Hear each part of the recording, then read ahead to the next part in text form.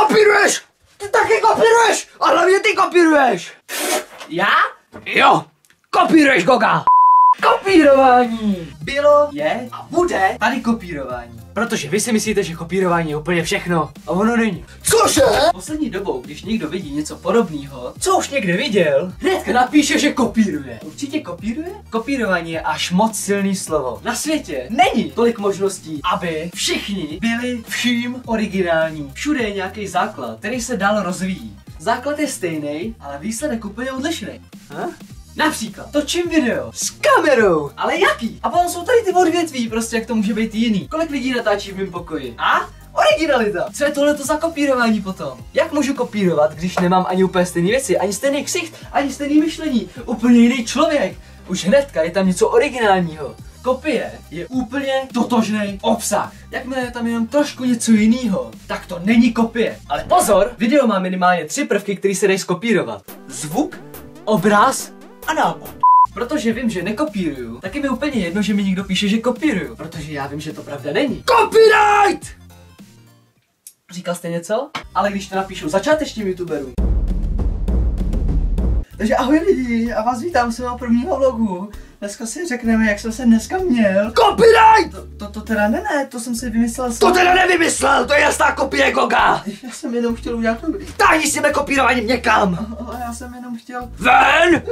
Už nikdy nebudu natáčet. Tak to bohužel i takhle může dopadnout. To je taky důvod, proč točím tohleto video. Začneme tím, za co většinou považují lidi kopírování.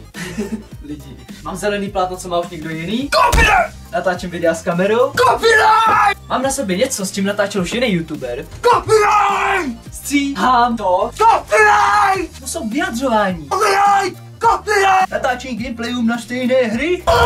Jenže tohleto kopírování není. Cože? Prostě není tolik možností, aby každý byl originální úplně vším. Vy si asi myslíte, že když vývojáři vytvoří nějaký program, že to vypadá nějak takhle. Dámy a pánové, právě se chystáme vydat nový program na stříhání a editování videí. Všechny funkce tohoto programu jsou odkázány jenom jedinému člověku a to tomu, kdo je použije jako první. Pokud tyto funkce použije někdo potom, je označován za kopíráka. Tak takhle to rozhodně nebylo. Když ten program někdo vlastní, může používat všechny jeho funkce, jak je libo. Tak moment, ale tak co, co je teda skutečně kopírování? Co je teda skutečné kopírování? Hruška, hruška, hruška, hruška, hruška, hruška, hruška. Podle toho, co jsem vám řekl před chvílí, mohli byste namítat, tohle kopírování není. Natáčíme si v pokoji, mám hrušku, jsem Čech, ale hlavní pointa toho videa byla úplně stejná. Ano, to je kopírování. Prakticky jsem tam nedal nic svýho. Takhle teda vypadá kopírování na YouTube. Ale já to furt nechápu. Dobrá, co dále může být kopí... Má hruška!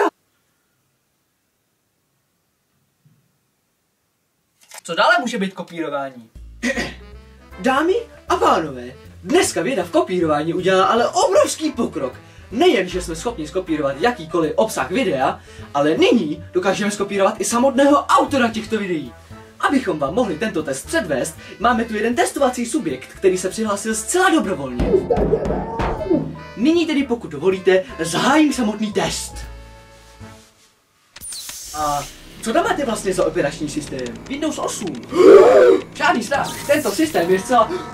Pane už to se spadlo a teď už mnou běží. Nedá se to zastavit!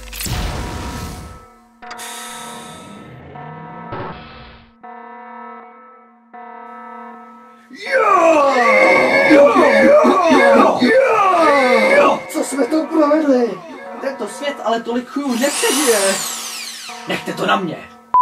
Teďka byste konečně mohli vědět, co je kopírování. Pokud to do teďka nechápete, jste bez naděje, jste v háji, ztracený případ, dobře, nejde pro vás místo, ven, ven, ven. Doporučuji nepsat žádný komentáře, k ničemu se nevyjadřovat, protože potom musíte být úplný idioti. A pro ty, co to chápou, děkuji, že jste to pochopili.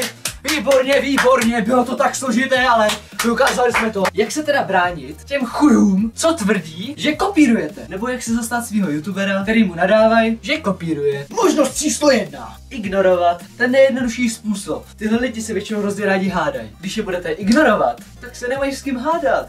Čeho oni dosáhli tím, že napsali, že kopíruje? Ničeho. Naopak, dostali pár palců dolů a nikdo se s nima prostě dál nebavil. Možnost číslo dvě. Jakým způsobem jim vysvětlit, co kopírování je a co není. Takže jim můžete poslat tady to video a oni to snad pochopí. Možnost číslo tři. Pokud chcete, aby komentáře typu copyright přestali, sdílejte tohleto video, aby se dostalo k co největšímu počtu lidí. A vůči tomuhle videu, pokud se vám video líbilo, dejte palec nahoru, pokud vám přijde jako Mirda, dejte palec dolů. Tímto se s váma loučím a čau čau!